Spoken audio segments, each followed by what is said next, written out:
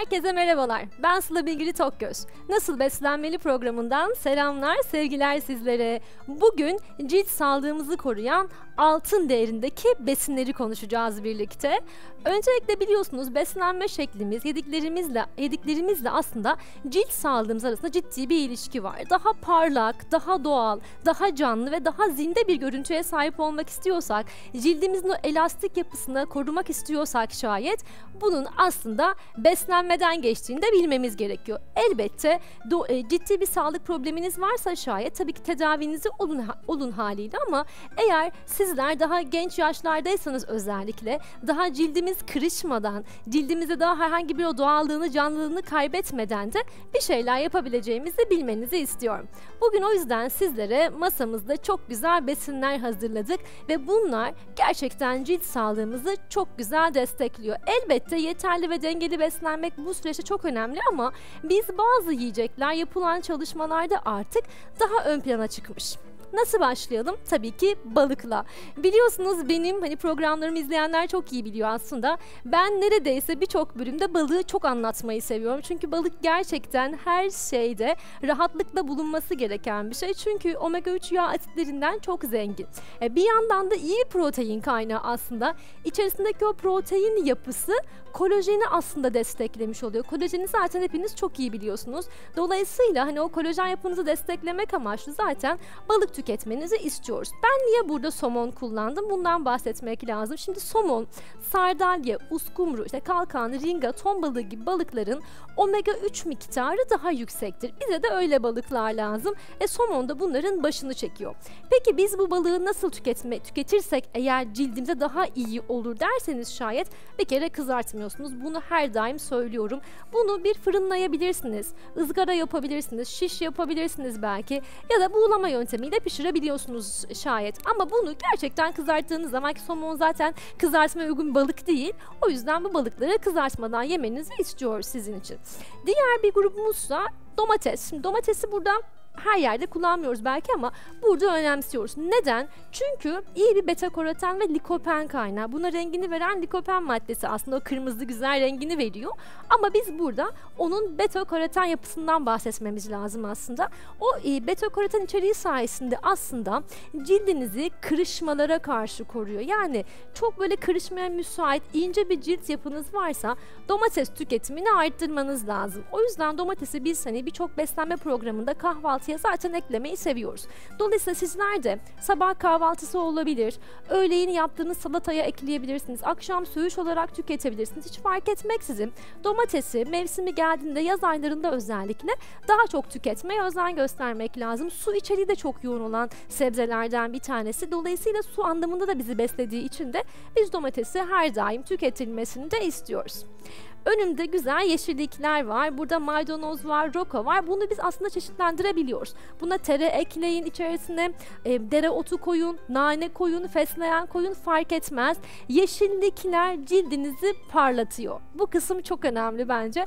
Ben Egeli olarak zaten yeşillik tüketmeye çok meyilli olan birisiyim. E, beslenme uzmanı olmuş olmamız da muhtemelen bunu birazcık tetikliyor. Dolayısıyla ben yeşillikleri her daim her platformda yine söylüyorum, yine söyleyeceğim. E, özel Özellikle de e, koyu yeşil yapraklı yiyecekler cildin parlaklığını arttırıyor. Çünkü hücreleri aslında yenilemiş oluyor. Yenilenmiş hücreler sayesinde cildiniz daha parlak, daha canlı ve daha aslında genç de görünmeye başlıyor. O yüzden cildimize iyi bakmak istiyorsak bunu yeşilliklerden yana kullanmamız gerekiyor. Peki yeşillik diyoruz ya biz bunları nasıl yiyeceğiz? Çiğ tüketebiliyorsunuz elbette ama çok fazla pişirmeyin. Neden? Çok pişirdiğimiz zaman da vitamin kaybı oluyor biliyorsunuz. O yeşilliklerdeki C vitamini suya geçmeye başlıyor. Dolayısıyla vitamin kaybı çok fazlalaşıyor. Yani dişe dokunur şekilde belki çok atıyorum pazı yiyeceğiz, ıspanak yiyeceğiz. Onları sote halde kendi suyuyla pişirmeye çalışın. Ekstradan su ilavesinde bulunmayın. Ya da bunları çiğ olarak salatanın içerisine sabah böyle söğüş gibi kahvaltılarda yine kullanabiliyorsunuz. Çünkü cildimizi gerçekten parlatıyor. Işıl ışıl bir cilde sahip olmak istiyorsanız bunun yolu bence biraz da yeşilliklerden geçiyor. Yumurta, e, yumurta biliyorsunuz artık aklandı, bayağı da oldu aklandı. Hatta kahvaltı iki tane yakın yumurta eklediğimiz dönemlere geldik aslında. Eğer ciddi bir sağlık probleminiz yoksa günde her gün en az bir tane yumurta yemenizi istiyoruz zaten. Yumurtayı iyi yapan şey ne?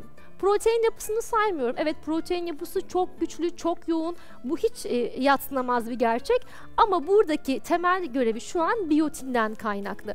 Eğer saçlarınız dökülüyorsa, tırnaklarınız kırılıyorsa şayet biyotinle alakalı bir sıkıntınız oluyor olabilir. Mutlaka bir kan tahlili yaptırın. Böyle şikayetleriniz çok yoğun boyuttaysa tabii ki.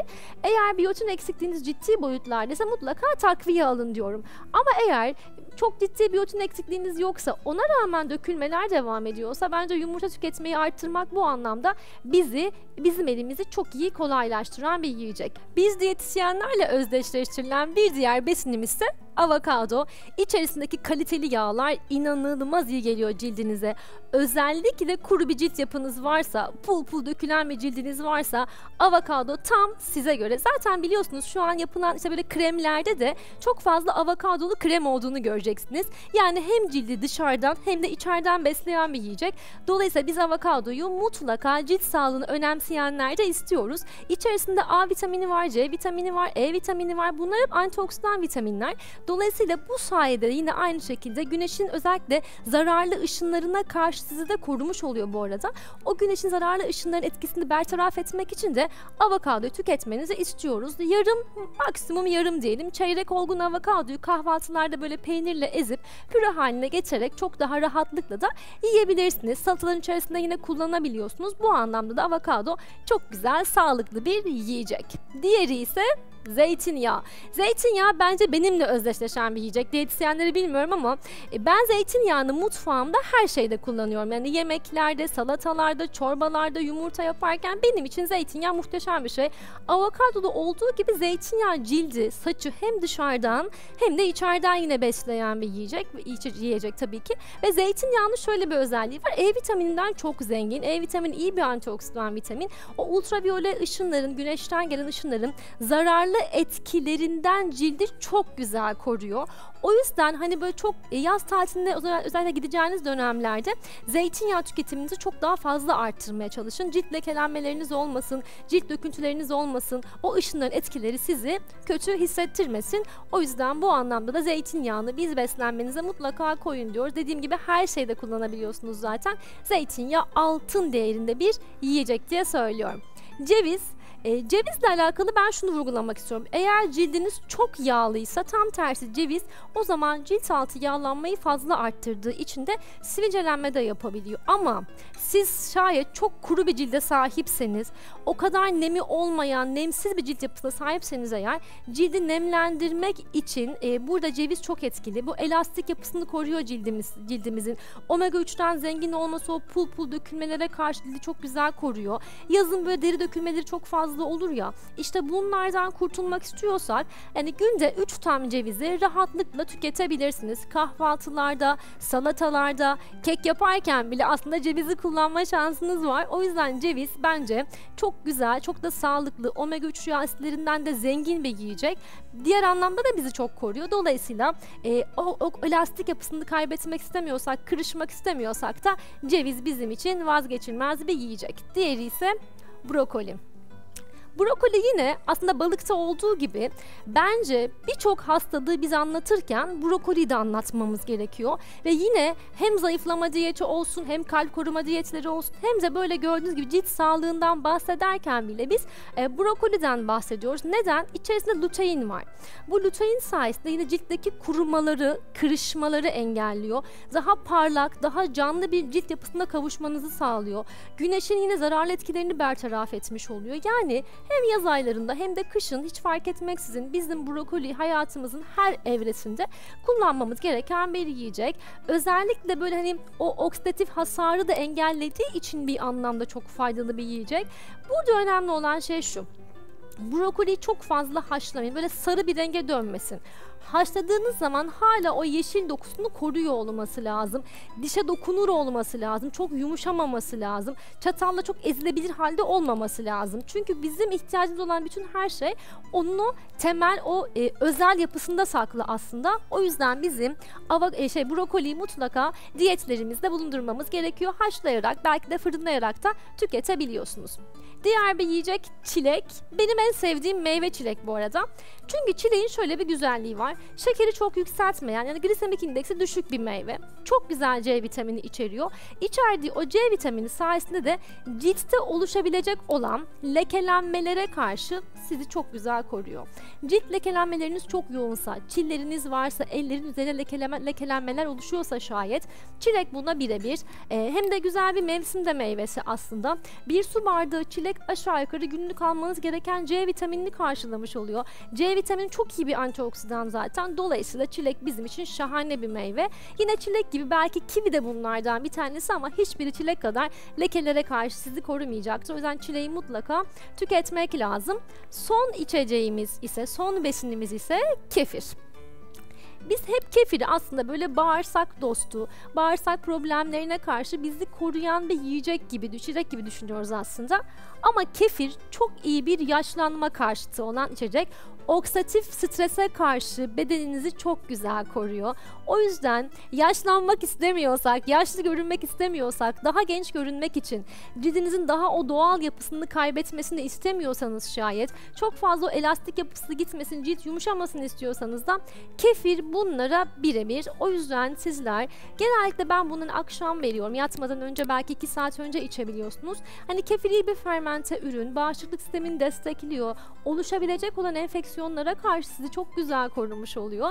O yüzden e, kefir de bunlardan bir tanesi. Bu yiyecekler bence altın değerinde gerçekten cilt sağlığımızı çok olumlu anlamda etkilemiş oluyor. Şimdi bu yiyeceklerin dışında Peki bizler günlük hayatımızda yine e, cilt sağlığımızı korumak için neler yapmalıyız? Biraz da bunlardan bahsetmek lazım. Şimdi cildi aslında en çok, en güzel besleyen şey, en kalorisiz şey nedir? Tabii ki su. Su içmek toksinleri arındırmak anlamında, cildin temizlenmesi anlamında bizim için çok önemli. Yani herkes su tüketimini arttırmak zorunda eğer cilt sağlığına özen gösteriyorsa şayet. Hem cildimizi dışarıdan yıkıyoruz, arındırıyoruz hem de içeriden cildimizi çok güzel besliyoruz. Dolayısıyla bizim su tüketimimizi arttırmamız gerekiyor. Ve kişi kilo başına 30 milim su içmeyi de ihmal etmeyin diyeceğiz. Çay kahve tüketimini biraz sınırlandırmak lazım. Alkol tüketiminiz varsa bunları biraz limitlendirmek lazım. Çünkü bunlar da tam tersi cilt sağlığımızı olumsuz anlamda etkileyebiliyor. Bunlardan uzak durmak lazım. Sigara içen bireylerin ciltlerini zaten aslında fark edebiliyorsunuz maalesef. Sigara içmeyi burada kesinlikle istemiyoruz. Cilt sağlığınızı seviyorsanız, cildinizi eğer korumak istiyorsanız da sigarayı bırakmanız gerekiyor bu anlamda ve yağlı besinler diyeceğiz yağda kızartmalar, kavurmalar, pastane ürünleri, hamurlu yiyecekler bunların hepsi paketli gıdalar bir yandan da bunların hepsi cilt sağlığınızı olumsuz anlamda etkiliyor. Yine bunlardan uzak durmanız gerektiğini söyleyeceğiz size. Bir diğeri ise tabii ki her daim söylediğimiz şey rafine şekerler. Rafine şekerler de aslında e, o protein yapısını bozuyor. Protein yapısı bozulduğu için kolajen yapısı oluşmuyor. Haliyle bizim en çok ihtiyacımız olan şey bu kolajen olduğu için de e, maalesef rafine şeker bunun oluşmasını aslında engellemiş oluyor.